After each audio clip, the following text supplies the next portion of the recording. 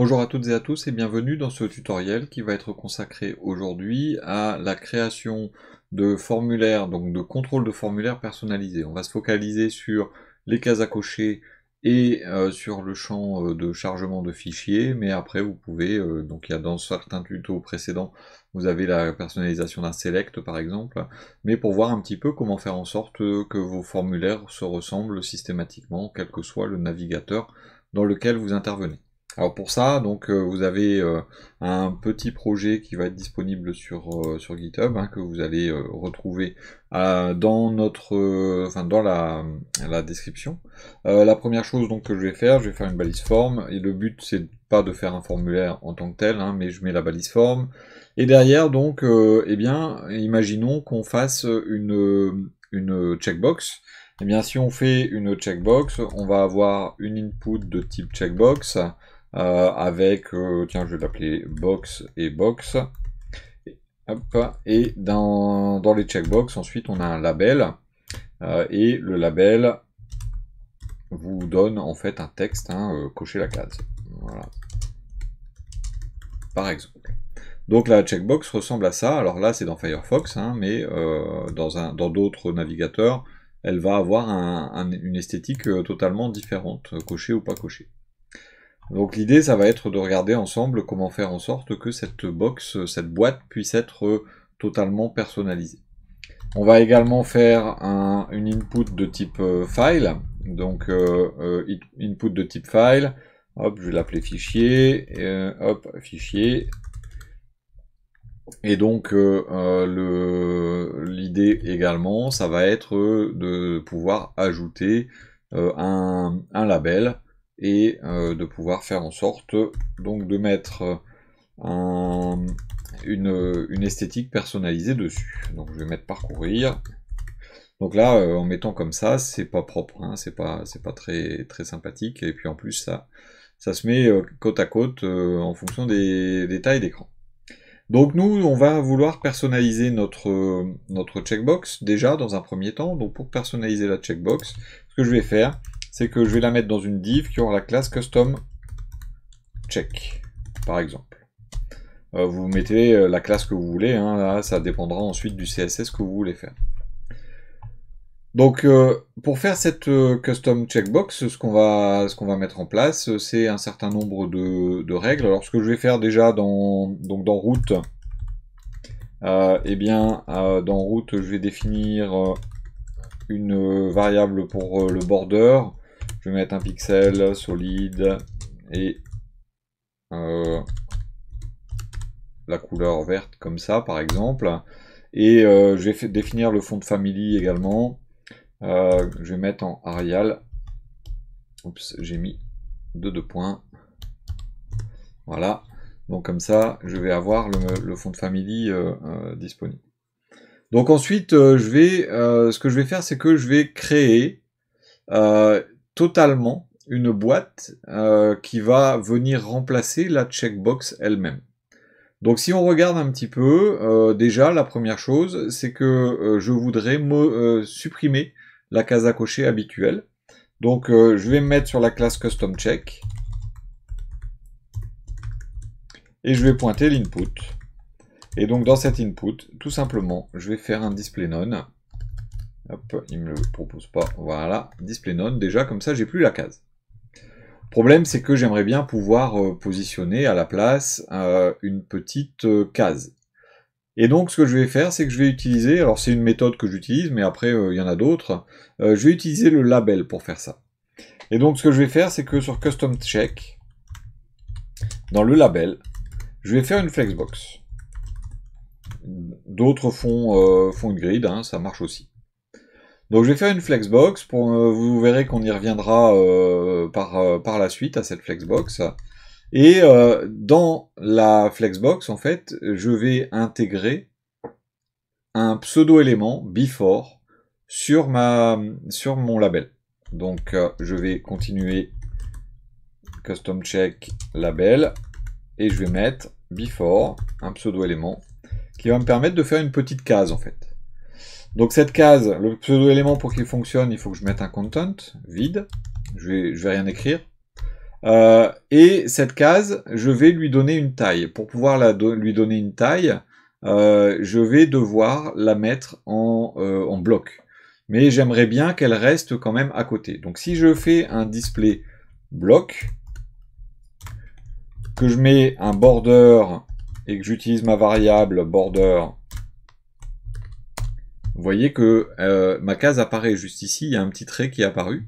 Donc ensuite, je peux mettre un with, par exemple, euh, je vais mettre un rem, hop, et j'ai une case comme ceci. Si je mets un ace à un rem pour la faire carré, je la vois apparaître, euh, voilà, juste, juste à cet endroit. Donc là, je fais mon, mon display block. Je vais également faire, pourquoi pas, un border radius pour faire 3 pixels par exemple pour faire un petit peu arrondi.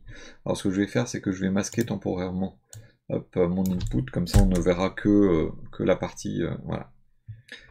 Et donc, euh, bah, en, faisant, en faisant ça, j'ai une nouvelle case à, case à cocher.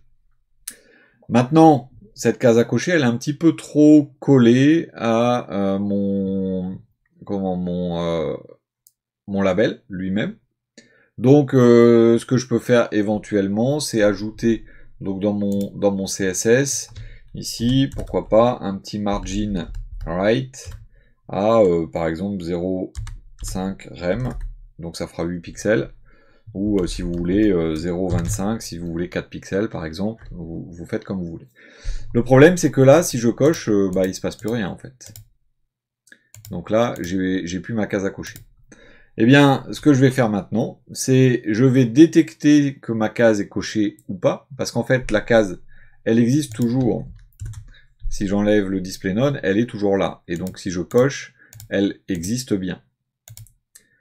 Maintenant, si je veux euh, réellement donc euh, faire en sorte que euh, mon, ma case se coche, eh bien, je vais devoir aller la cocher avec, donc je vais faire un custom check, je vais aller voir l'input et je vais vérifier si elle est checked, c'est-à-dire la pseudo-classe checked. Et je vais intervenir sur le label, le label qui suit mon input. Donc on est bien d'accord que le label est après l'input, donc avec mon plus, je vais pointer, c'est ici, je vais pointer mon label, et je vais mettre son before parce que je veux pointer ma case. Et quand l'input est checked, eh bien, je vais lui dire que le content, c'est un X. Par exemple, hein, je, pourrais faire euh, plein de plein d'autres choses. Et là, quand je clique, voyez, la case est cochée, j'ai un X. La case n'est pas cochée, j'ai pas de X. Donc ça me donne l'impression que je coche une case. Maintenant, une fois que vous avez fait ça, eh bien, vous avez tout loisir de faire exactement ce que vous voulez. C'est-à-dire que là, euh, on voit que le, X n'est pas centré.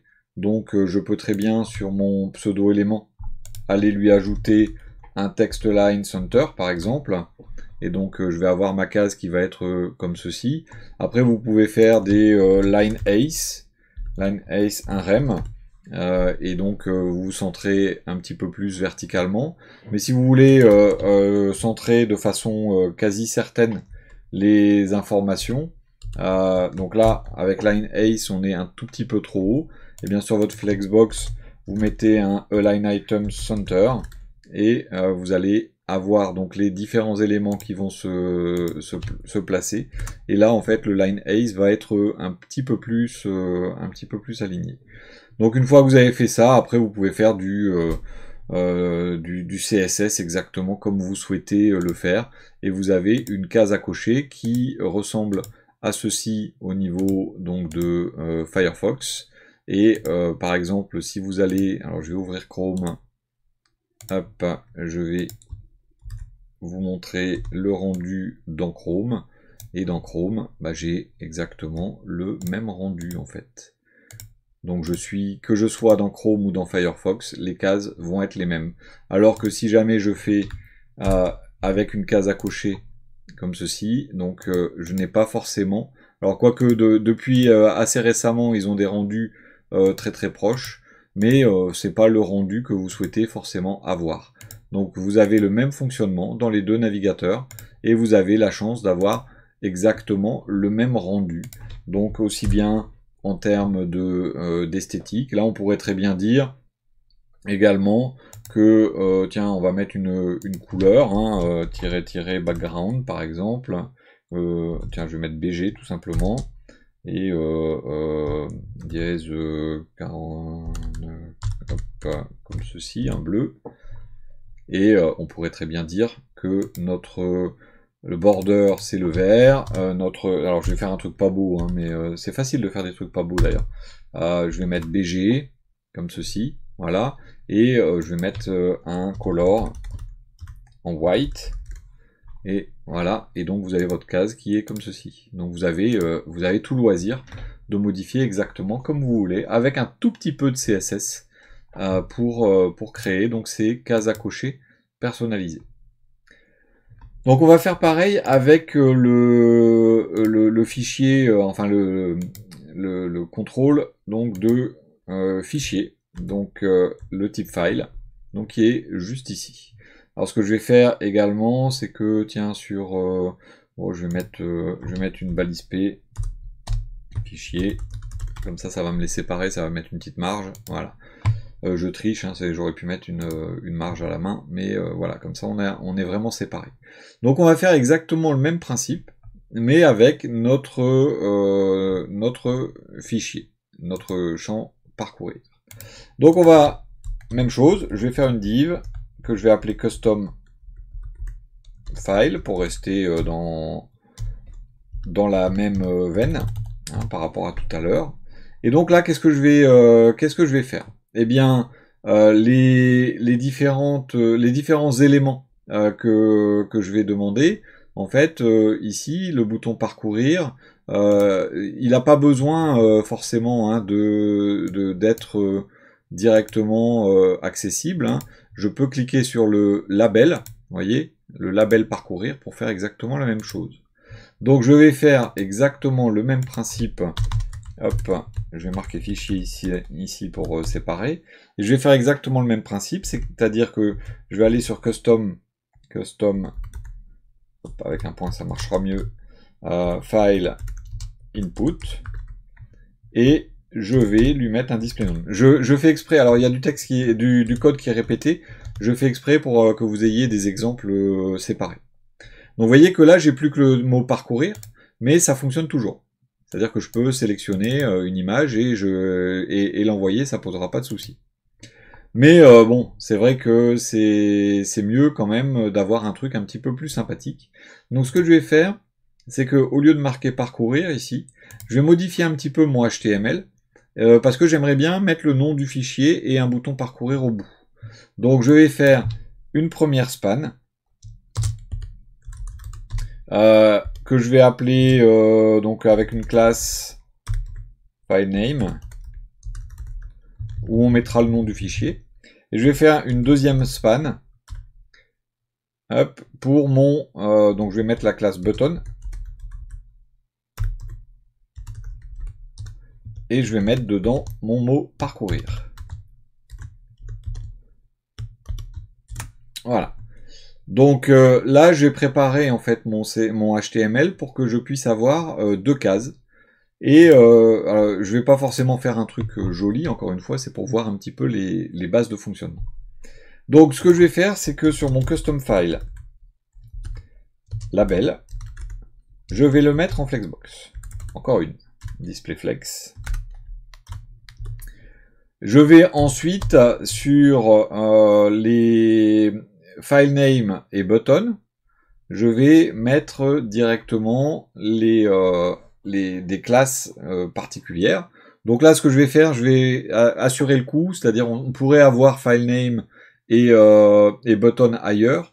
Donc je vais faire un, un, un, sélecteur un peu plus large. Donc je vais faire un custom file input et je vais aller chercher le label qui suit et dedans, je vais prendre file name. Je suis pas obligé de faire euh, autant, mais euh, je vais quand même euh, sécuriser un petit peu les choses. et donc le file name en question, je vais lui donner une taille. Je vais lui donner un flex. Je vais lui dire il va faire deux partie de ma flex, alors que le button, lui, je vais lui en donner qu'une. Donc je vais faire un flex 1 et un flex 2. Donc j'ai deux tiers, un tiers. Donc si pour ceux qui connaissent pas, vous avez hein, dans, Firefox euh, alors là, je vais agrandir, ce sera peut-être mieux. Vous avez un dans, dans, dans la partie euh, gestion du, du, CSS, vous avez un, un, volet dans lequel vous pouvez trouver mise en page et vous pouvez regarder votre, votre Flexbox directement de façon euh, graphique. Et ça vous permet de savoir que là, bon, on a deux tiers et on a un tiers. Alors, ça prend toute la largeur, mais après, à vous de mettre des largeurs comme, comme vous le souhaitez. Hein. Donc là, pour bien voir également, eh bien, ce qu'on va faire, c'est que notre file name, je vais lui mettre un border. Je vais utiliser, hop là, mon, ah, je vais y arriver, mon tiret border. Donc, euh, vous voyez, je l'ai là. Et euh, donc, euh, mon, parcourir, je vais lui mettre un, un background color qui sera ma variable BG. Voilà. Donc c'est moche, hein, mais euh, c'est fait exprès, c'est pour que ce soit visuel. Color white, par exemple, et donc j'ai mon bouton parcourir. Donc vous voyez que là, je peux très bien aller chercher un fichier et, le mettre en place. Donc en fait, j'ai pas grand chose de plus à, faire. je pourrais faire éventuellement sur mon label un cursor pointer, histoire que quand je suis dessus, je, sache avec la main que je peux cliquer. Je pourrais m'amuser également euh, sur euh, label et, euh, button et file name. Je pourrais très bien leur mettre un petit padding de 0.25 rem par exemple de 4 pixels histoire de faire quelque chose d'un peu plus propre. Voilà, là après, c'est totalement, totalement indépendant, totalement personnalisable. Maintenant, une fois que vous avez fait ça, c'est bien, mais vous avez votre bouton et ça serait pas mal que le nom du fichier apparaisse donc euh, dans la partie file name, justement. C'est son, son but. Donc cette partie file name, eh bien, je vais aller la modifier. Euh, en... Et là, par contre, il va falloir faire un peu de JavaScript. Donc dans mon projet, ce que je vais faire, c'est que je vais faire un, dossier JS. Je vais faire un coup de euh, donc script.js. Alors j'ai mis un T. Hop script.js. Et euh, faut pas que j'oublie bien sûr de mettre euh, ici en haut un script src avec euh, js slash script.js avec un petit defer. Voilà. Donc là, l'idée va être d'aller dans mon document, rechercher les éléments de type comment, custom file input, et euh, ensuite, je vais boucler dessus et je vais récupérer le nom du, le nom du fichier qui aura été utilisé. Donc, euh, euh, je vais pas m'embêter, le DOM, euh, le DOM va être chargé, donc je vais faire un let. alors si on le fait, si on le fait propre, hein, ça va être, tiens, custom files, parce qu'on pourrait imaginer en avoir, en avoir plusieurs. Donc on va faire un document query selector all et on va aller chercher tous les points custom file et on va prendre les inputs. Ensuite, on va faire un for for hop là, let custom file of custom files. Le for of, vous savez que j'aime bien.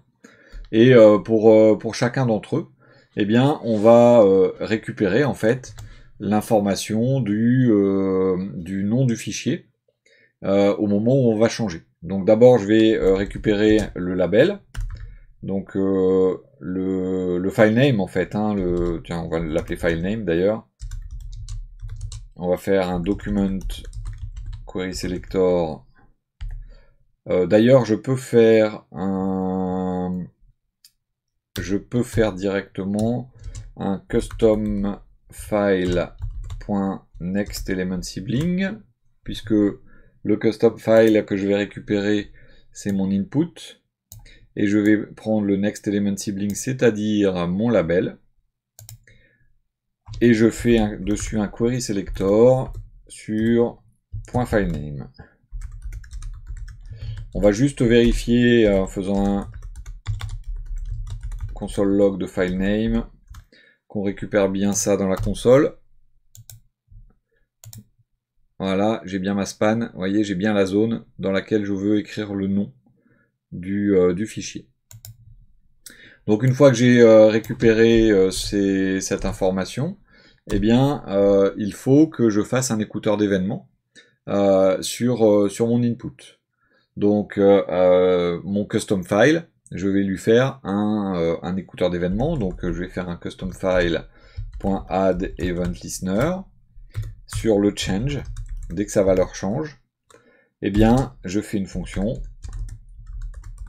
function je vais mettre E comme l'événement. Hein. Et donc sur, ce, sur cet événement, en fait, on récupère euh, les, informations du, euh, euh, comment, du,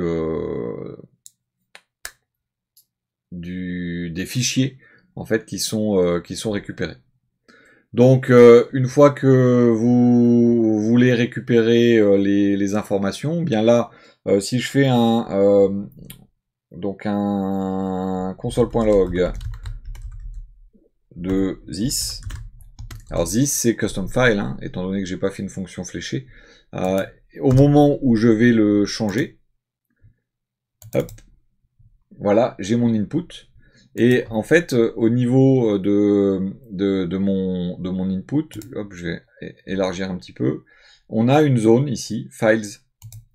Et dans la zone files, on récupère le fichier, les informations donc du fichier qui, euh, a été, euh, qui a été choisi. Donc ça veut dire que je peux faire un this.files puisque je peux euh, récupérer les informations. Donc si je fais un this.files comme ceci, je vais rouvrir la, console, là ça sera un petit peu plus lisible. Là, en fait, j'ai un, une file list, j'ai un fichier, et donc j'ai bien ma photo qui apparaît ici. Et donc c'est le name. Donc, euh, au niveau de, du this.files, pour l'instant, on a mis un, fichier, euh, une input de type file, sans le label multiple. Euh, donc ça veut dire qu'on ne peut mettre qu'un seul fichier. Donc on va pas forcément vérifier la longueur. Mais je vais quand même vérifier s'il y a this.files on est éventuellement, hein, euh, on pourrait être dans un cas où il n'y a pas de fichier qui aurait été envoyé. Eh bien, dans ce cas, je fais euh, directement une, euh, mise en, place de mon label. Donc, je vais utiliser mon file name. File name. text content d'ailleurs je vais faire text content et donc, euh, euh, à ce niveau-là, eh bien, je vais pouvoir récupérer l'information euh, du, du, nom du fichier. Donc, si je veux récupérer le, le nom du fichier, alors je vais quand même faire un truc, c'est que je vais vous faire un console.log de l'event, pour que vous voyez exactement de quoi je vais parler après. Je vais prendre ici. Donc j'ai ici euh, directement dans l'event, hein, j'ai mon event change. Et si on regarde les différentes propriétés de l'event euh, change, je vais avoir différentes informations de target par exemple. Et si je regarde dans target, c'est mon input, je vais récupérer potentiellement un champ. Tac qui va s'appeler value. Et value, ça va être le nom du, le nom du fichier. Donc il y a la façon avec files et il y a la façon avec, euh, avec value. Donc là, si on veut par exemple récupérer le nom du fichier, il a créé automatiquement un, fake pass, hein, euh, donc euh, un chemin. Eh bien, on peut éventuellement faire directement une récupération de cette, de cette valeur. Donc vous allez retrouver cette, euh, méthode en une seule ligne. Donc moi ce que je vais faire, c'est que je vais la démonter un petit peu. Alors je vais parce que j'ai voulu écrire trop, trop court. Donc là, je vais la démonter, en fait, cette ligne. Donc ce que je vais faire, c'est que je vais faire une variable file, par exemple, et je vais récupérer e.target.value. On va faire ensuite un console.log. Je, vais, le faire étape par étape pour que vous voyez bien le principe euh, de file. Si je fais un console log de file, au moment où je vais prendre par exemple chaise en chaîne massif, là, pouf, j'ai le chemin. Dans ce chemin, en fait, là on le voit pas, mais j'ai des doubles anti-slash. Les doubles anti-slash, c'est gênant. Donc ce que je vais faire, c'est que euh, je vais casser cette chaîne de caractères à chaque fois que je vais trouver des doubles anti-slash avec split. Donc euh, euh, je vais l'appeler array, c'est un tableau. Ça va être mon file.split et je vais lui dire tu me split dès que tu trouves anti-slash anti-slash. Si je fais maintenant un console.log de array, je vous allez voir que je vais retrouver un tableau avec toutes les informations que j'ai dans le chemin, mais chacune séparée. C'est-à-dire que j'ai le 0, c'est mon C2 points, le deuxième, c'est fake pass, mon troisième, c'est chaise en chaîne massif, et c'est celui-là qu'il me faut.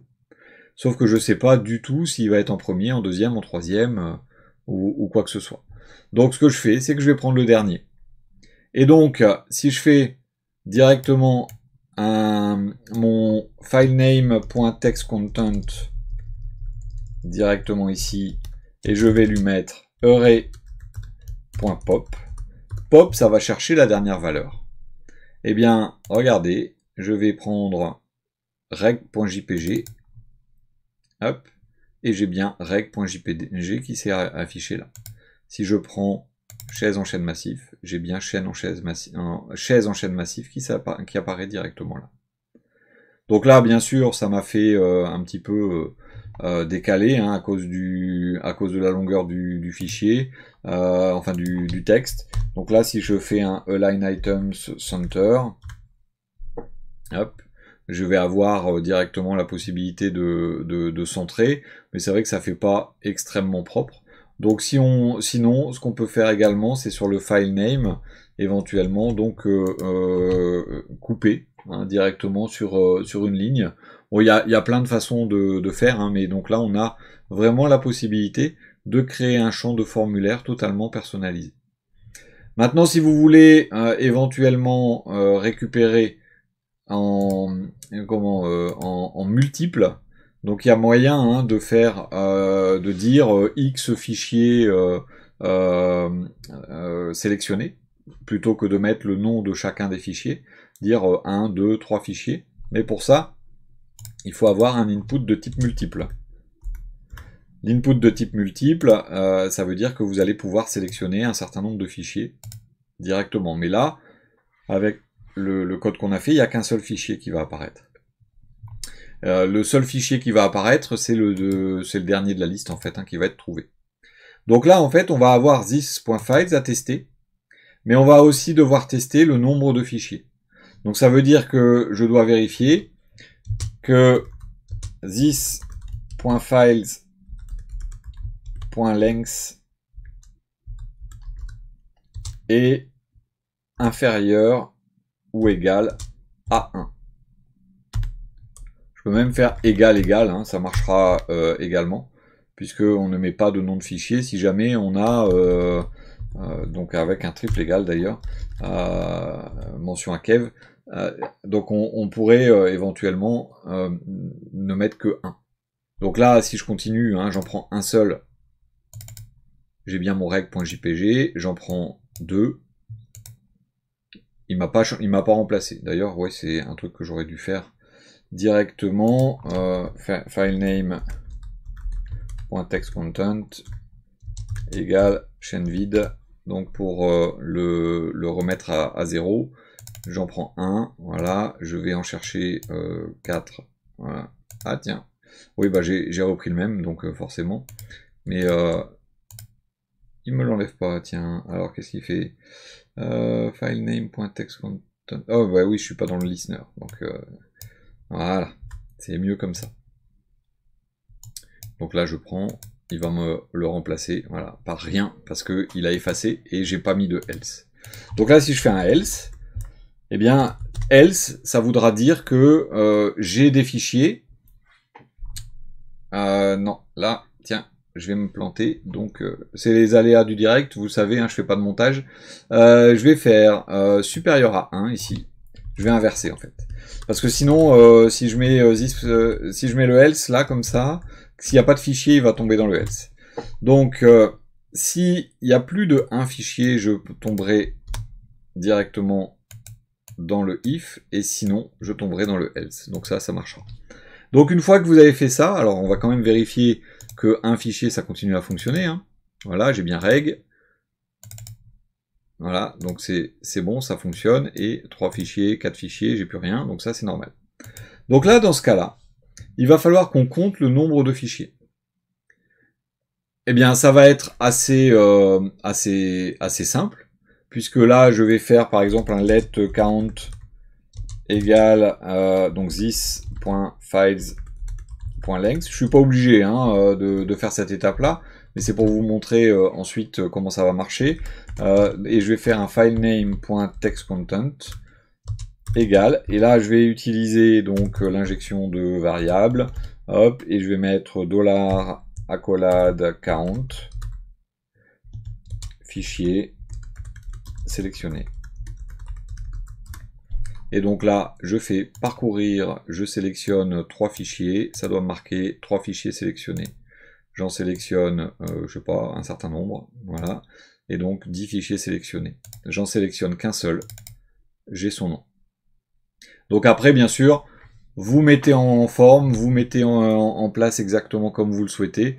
Là, c'est vraiment la base de fonctionnement. Mais vous voyez qu'on peut personnaliser les champs de formulaire de façon relativement simple au niveau CSS. Après, le champ file, il est un petit peu embêtant au niveau du, euh, du, JS pour aller chercher donc les, euh, les fichiers et les noms des fichiers qu'on veut euh, afficher. Voilà donc pour ce tutoriel, je vous remercie beaucoup pour votre attention, n'hésitez pas, hein, comme d'habitude, mettez un petit pouce, vous pouvez commenter, vous pouvez venir sur le Discord, vous êtes les bienvenus euh, partout. Euh, je vous remercie beaucoup pour votre fidélité. Je vous dis à très bientôt.